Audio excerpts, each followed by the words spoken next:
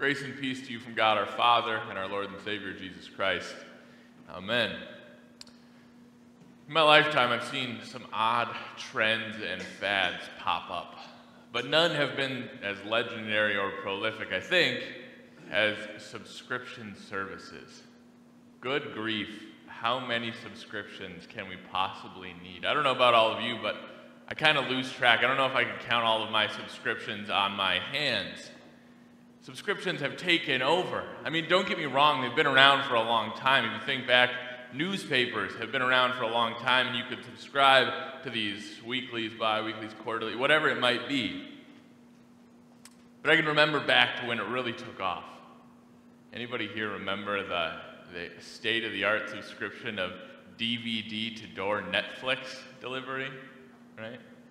I mean, even that now is out the door. DVDs are kind of out the door, forgotten about for our 4K streaming right to the TV, amazing stuff. But the subscription services have only grown since then. I mean, we have so many services for television and movies, and then you tack on your music services, and now we have our food can be delivered right to our door. People can go shopping for us, or we'll have the boxes delivered.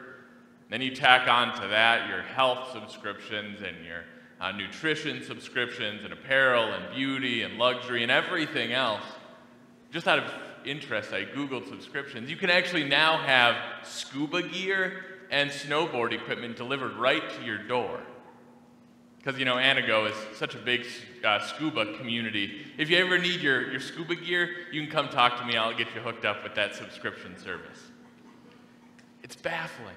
Baffling how many subscriptions we can have. But you see, I think what's so inviting about subscriptions is that our lives get chaotic. They get busy, they get hectic, but we like to feel like we're in control, have our hands on the wheel. So if we can craft and hone what it is that we need, have it delivered the exact amount of times we want, or those things we think we need in life, have them brought right to our door as we need, as we want to pay for them. It makes us feel like we have authority in our life, right? It makes us feel like we have our hands on the wheel. It's all good to go. But just like most things in this life, there's always another side to that coin. You see, the reason subscription services are so popular for businesses is because they know us. They know we're forgetful. They know that once they get a foot in the door, chances are they're not going anywhere. There's been research done. People are spending hundreds more than they realize a month on subscription services they don't use anymore. Isn't that baffling? We subscribe so quickly because we think we need, and then when we're done with it, it just goes off to collect dust and we forget about it until maybe we have need for it again, but who knows? Let's take this idea of subscriptions down to the basics for just a second. So, subscriptions at their core are us trying to pick and choose what it is that we want or need, right? We have some sort of space we think we have in our life and we want to fill it up. So we pick and choose and then we try and, try and craft that. How often do we want it? How many people are going to be partaking in whatever it might be? How often do we want to pay for it? How often do we want to think about it? Are you starting to see a connection here? See, I'm going to make the argument today that our faith sometimes turns into a subscription. The Bible sometimes turns into the user manual or the catalog. Something we think we can just kind of flip through and pick and choose what it is that we want the God that we want for that day. So maybe you're having a really tough day, so you pick up your Bible and you flip to all those ones about uh, God forgive, God's forgiveness, and, and that's all you want. Or maybe you're having one of those days where somebody's really getting on your nerves and you flip over to those ones about God being a judge and you're thinking, oh, you're going to get it. You just wait. That's the God I want that day. Sometimes it gets even worse. God, you didn't really say that I shouldn't do X, Y, or Z, so I think I'm just going to leave those parts out. Don't you see it? We start, and pick through, we start to pick through this catalog for what it is that we want to subscribe to. And then worship. Worship becomes this obligatory payment. the thing we feel like we have to do in order to keep up with our subscription. And don't get me wrong, it's great, but then we start to try and pick our flavor of how it is we want to pay. Maybe, maybe all I need to do is just do a devotion in the morning and that's it. Forget about church. Or maybe I just need to go to one service and forget about our Bible study. Or maybe I just need to listen to my Bible app and I can forget about all the rest of the stuff. Are you starting to see it? We craft and hone what we want, what fits into our life. We try and make Scripture into what it, we want it to be, what we want God to be. We start to try and play like we have authority over any of this, and that's the problem. We don't have authority over what this says, we don't have authority over who He is. We need to open up our eyes and our hearts and realize that God's word is to be received because it has authority over us, to change us, to work in us. And that's exactly what we're going to see in this gospel reading that God does have authority. His word has authority. We're in the book of Mark today. And in our gospel reading, Jesus is teaching in a synagogue in Capernaum. It's kind of a, a unique story. It kind of takes some odd turns you don't see coming. But right at the beginning, Jesus goes into the synagogue and he starts teaching. And the reading tells us that uh, all those who heard were just amazed baffled. What is this? What is this that he's teaching? How is he teaching? It's unlike the teachers of the law. What does that mean? In order to help us understand, we need to comprehend who these teachers were. These teachers of the law. For instance, they weren't infallible. They fell to corruption sometimes and sin just like men often do. They taught trivial matters. Remember your Bible readings, you might remember Jesus and his disciples walking and picking grain, and they got all upset. He's breaking the laws, working on the Sabbath. You see, they taught about the trivial matters that didn't really make a difference, the things that people had on their hearts, the problems they felt in their hearts and minds. That's not what Jesus came to do. He taught with authority. He taught with authority because he was the Word made flesh, the living Word. He taught what mattered. He taught about life and death and eternity and all of these important things that people wanted to hear and understand so they might feel comforted in their faith and in who God was. You see, Jesus gets to have authority over these words because he is the living fount of the words. These teachers of the law, they didn't have that kind of authority. Even Martin Luther said that it was almost like these words of authority could have grown arms and legs and walked to the hearer. Jesus has power. When he speaks, creation listens. Of course, it was wondrous. Of course, it boggled their minds. And you might be thinking, okay, so Jesus' words got authority. This has authority, but, but what's it even got authority to do? What's it get to do just like I did with my children's message? What does that even mean? Well, if we keep reading the story, we get to see exactly what Jesus' authority can do. Amidst this amazement, as people are listening to this wondrous teaching of this man who spoke with authority, another man in the synagogue stood up with an unclean spirit. And he shouts out to Jesus, You know, I know who you are, Holy One, Son of God, all these things. He knew exactly who Jesus was. Finally, Jesus, without a thought, cast him out. Cast the evil spirit out of this individual, and people are further amazed. Can you imagine? Already amazed at everything Jesus had said he could do, and all of a sudden this wicked spirit stands up and he simply says, Be gone, and it is gone. But it goes even further than that. See, take a second to really comprehend what is going on here. We have no idea who this man is or what his life looked like. And when he stood up, he didn't stand up and say, Please, Jesus, cast this spirit that is afflicting me out. He didn't beg for forgiveness or healing or anything else. Maybe he couldn't even uh, form those words on his lips. Maybe we could argue that his subscription had lapsed. Maybe, you know, he didn't have any right to call out to the creator of the world. As we really don't have much right alone in our sinfulness and brokenness.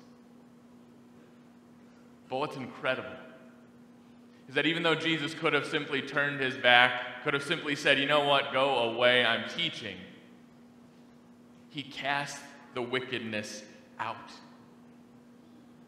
Friends, this authority is the authority to move the darkness, to burn it away. It's the ability to create life, the world, you and me. It is the authority to reign over all things each and every day. Sure, you might not be afflicted by a wicked spirit. You might not stand up and shout. At least I, I hope nobody stands up and shouts at me. But we do have darkness in this world. The tempter is always active, calling out to us, trying to lead us astray. We're imperfect people. I'd even argue that it's that imperfection that is calling out to us, saying, Sure, don't worry about it. Faith is a subscription. Make God whoever you want him to be. It doesn't really matter. But it's that voice that Jesus came to burn away, to destroy, to cast out, so he could make room for the Holy Spirit to work and change in our lives, to have authority. You see, the good news is that this God who comes in the flesh to work, to live, to die, to teach, to show his authority to save. This man that he cast the spirit out of all those who were hearing, everybody that was, is, and ever would be, Jesus came to save with his authority over everything. Fellow believers, Jesus has authority over everything. He teaches from within because he is the living word made flesh who came to live, die, rise again, blow the entrance off the tomb, make sure the grave had no power over us. Jesus' words hold power and authority over you and me, over the world, over good and evil, everything. His perfect life had the authority to cover our sins each and every day. His power and reign has the authority to guide us, to renew us, to strengthen us, to love us. Dear friends, our faith should be more than a subscription. It's not something that we get to have authority and power over, molding and sculpting, changing into what we want it to be. It's the other way around. Scripture and God have the authority over us to change us into what we're supposed to be. Don't you see it in the waters of baptism? He changes us. In Scripture, He tells us who we should be as His children. When you allow God to be in the control of the wheel, when you understand His authority is the authority, it gives you the chance to open your eyes instead of looking down at your feet trying to hone the kingdom you want to try and make, to look out into this world that He has already made, to see that you have a place in it, that you are wanted and redeemed and loved and sent forth with little pieces of His authority to be His stewards, another Christian word, to help take care of this creation. I'm telling you here and now let go of the control. Let go of the control over the God who has the authority over everything. Be freed up to live as He wants you to live, to serve as He wants you to serve, to be unburdened by your sins and the brokenness. Because when we do that, we realize that we too are lights in this world, disciples of the one true God the only individual who has authority over everything, known and unknown. As I said at the beginning of the service, for those of you who don't know, it, it's the National Lutheran Schools Week. And this year, our, our theme verse is from John 15, and it says this I am the vine, and you are the branches. If you remain in me, and I in you, you will bear much fruit. Apart from me, you can do nothing. our students have been learning what it is to be connected to God, what it means to bear good fruit. But this week, with it being a special week, we took that just a little bit further. And further down in John 15, Jesus says, You did not choose me, but I chose you and appointed you so that you might go and bear fruit. Dear friends, you're not subscribed to this faith. You didn't get to pick it. You didn't choose Christ. He chose you. He ascribed, ascribed put his word into you, changed you, molded you, paid for you. The good news is that you are so wanted that you didn't have to come to the cross and try and figure all of this out. No, he brought it to you so that you might be changed and believe everything that he has done. And this thing that he commands unto you after choosing you isn't to work your life away, it's to simply love. That good fruit, it's to love one another as you have been loved. Let that rest upon your heart. His word has changed you. His reign protects and strengthens you. His love is sufficient for you day in and day out. Stop trying to subscribe and change him open your heart and allow it to work within you so that you can go forth in this life and love as you have been loved and set free each and every day. Let's pray. Dear God, we give you thanks that you do have authority in this life over everything, burning away the darkness and wickedness, breaking over the, open the tomb, setting us free from death, sin, and the devil. Help us to live a life of faith in the knowledge and comfort that you are there, having bought and redeemed us. Help us to love as you have loved, and help us to give over control unto you, the ultimate authority in this life and the next. Amen.